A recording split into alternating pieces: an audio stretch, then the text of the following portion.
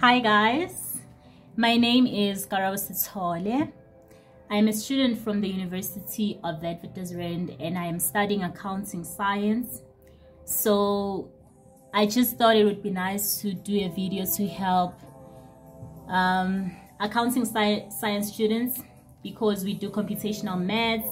So I'm just going to be providing a summary of FM6 all the way to FM11 because there's a test coming up, right?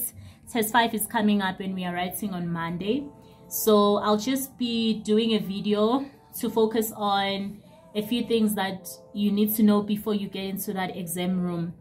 And it includes knowing your withdrawals, knowing withdrawals made in perpetuity, growing annuities, Newton's method of calculating your interest rates, knowing any interest that is compounded continuously, knowing what happens or what you have to do and how you deal with the situation when you take a loan but you miss payments or there was an interest rate change, right? So those are all the things we'll be dealing with today.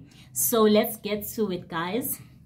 So basically, you invest a particular amount of money in a bank, right? Beforehand, you invest, let's say 50K right? And you want to make withdrawals as time goes on. I'm talking of things like um, your retirement annuities. You invest something and at some point in time you retire and you have to withdraw a particular amount of money. So you can make your withdrawals at a constant rate. For example, you decide that you will withdraw a thousand rand per month.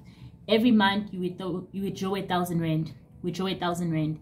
So that is just your normal withdrawals, right? Where you are withdrawing your money at a constant rate. So the rate at which you are withdrawing the money is not changing, it is remaining constant, right? So when you are making such withdrawals, you may use your formulas or you can decide to use your calculator, right?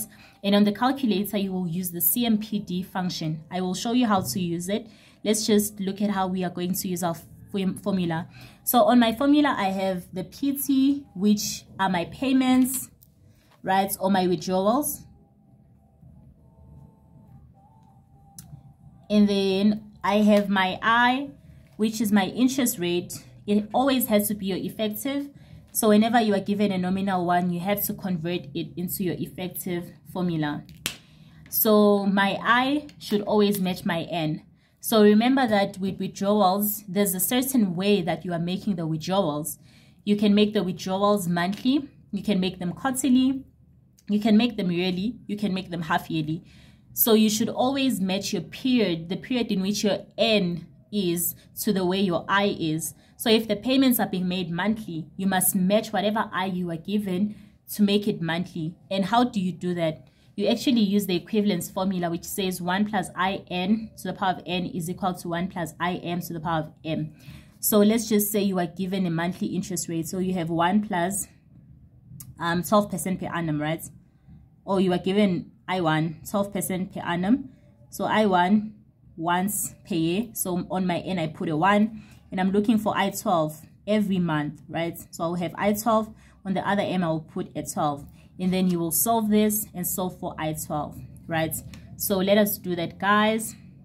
So you will have 1 plus 12%, right?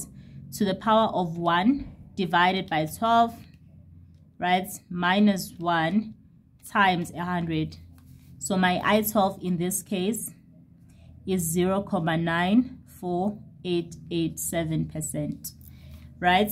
And also you have your future value formula which is pt pt is still the same thing your withdrawals or your deposits.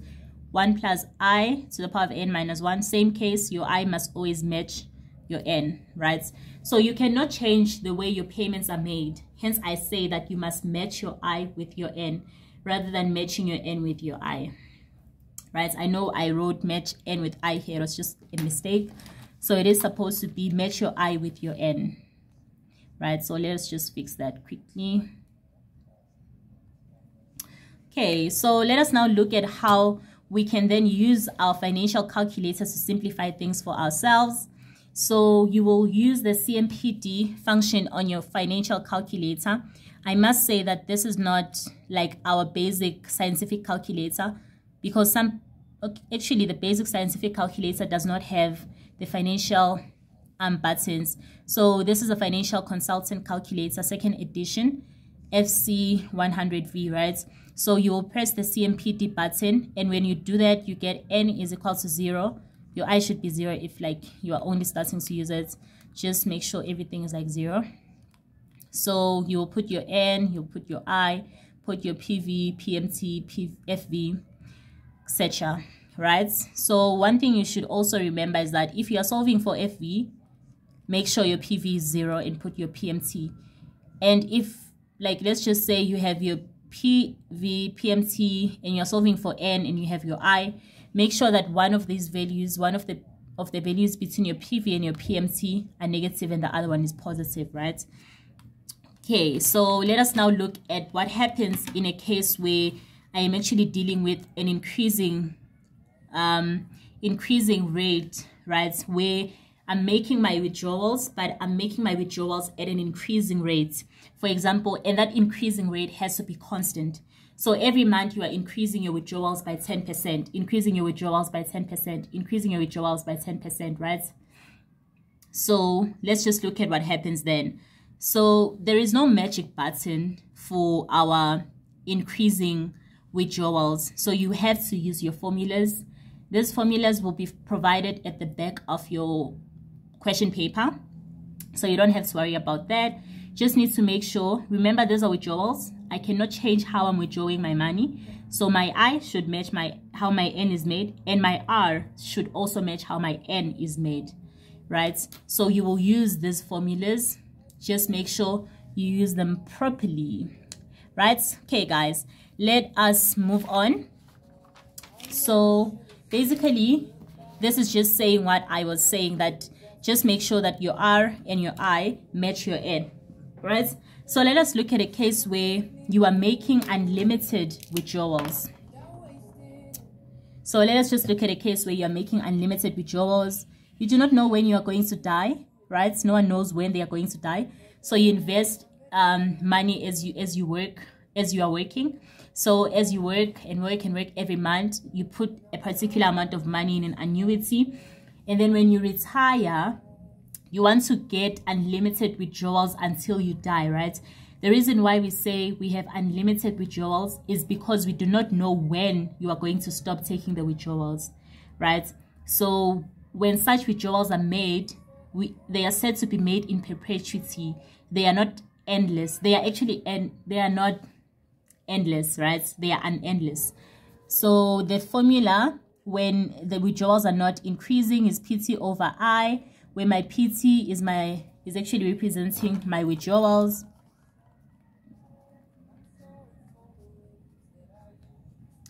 And then your PV, when your withdrawals are growing, it is PT over 1 minus R, right?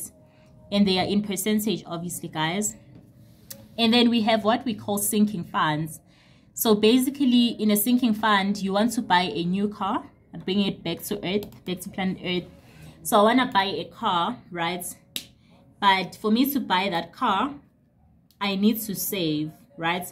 So I will also sell my the car that I have currently as part payment for the new car that I will buy N years from now. So you will find sinking funds where you have a new machine or a new car that you want to buy. It will be paid in part payment by the old car that you have, right? and also by the future value or the savings you will make to buy that car. However, you also now have to, to take into account that you have to maintain the existing car or the old car or the old machine, right? So just know that in such a case, you might be given the value of the machine, right? You might be given the value of the machine um, or you might be given the value of your current car, which will be called the old machine when you buy your new car, right? So you might be given the value of your current machine or your current car.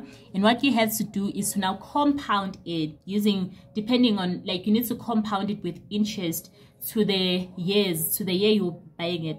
So if you're starting at T0, which is now, and you'll buy, and you'll buy the car six years from now, then you need to compound the current car for six years, right? To find out how much it will actually be worth six years from now. As for the old machine, you actually have to depreciate the value of the current machine because remember that cars depreciates. So five years from now, the car that you have now won't be worth the same thing. It would have been depreciated. For those who do not understand what depreciation is, Depreciation occurs when a car loses its value over time. As you use the car, it wears off, right? So that is what we call depreciating. The car is losing its value as time goes on. The car losing its value over time, right? So that's basically that with our sinking funds. We will definitely do examples um, in another video. For now i just want us to continue. So your withdrawals are very easy guys you just need to make sure your i matches your r and n how n is made. So let us now go to loans right? So all you need to know is that a loan is a particular amount of money that you are borrowed right so if you are borrowed an amount of money and you are given that money it is only right? It is only common sense to say that whatever amount of money you have is the money at present, right? It is the present value of the loan. The bank will put interest on that loan and that loan will then have to be repaid depending on the on the given agreement, right? So you should just know that a loan is represented by the present value formula. So the loan is represented by the present value formula. So there are a few things that you guys need to know how to calculate. You need to know how to calculate your balance outstanding. You should um, know how to calculate the interest portion of your loan, to calculate the principal portion of your loan using both your calculator and using your formulas, right? So for the balance outstanding or any question that you will work it, you work with with loans, you need to make sure that you always solve the initial equation before anything happened and you make sure that it's under your CMPD so that when you press the right button to solve for your interest portion, your balance outstanding, that information is already stored in the calculator, right?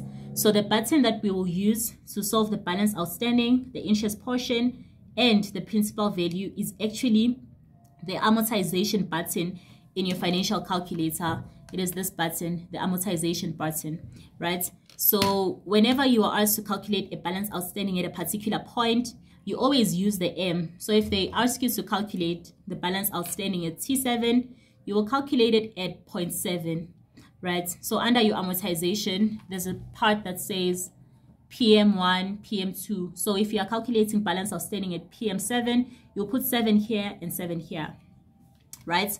So the interest portion of the loan is always calculated before any interest rate change, right? So if you want the interest portion of the loan at T7, you will calculate the balance outstanding at T6 and multiply it by interest, right? As for the principal portion of the loan, it's always the payment minus the interest portion. So yeah, and then we have hire purchase right? This is when your loan is actually charged at a simple interest rate and your PT is always equal to your FV divided by the number of payments you will make. So your FV is just your simple um, interest future value formula, which is, let's just write it, which is PV 1 plus IN, right? So you will change the N to years when you are calculating the FV if you made four quarters then that means you will have one here right? If you made 12 monthly payments that's equal to one year as well. So on the end you will put one right? So yeah man that's just that with loans. And then we come on to final payments right? So let me just pause the video. I'll finish the video up just now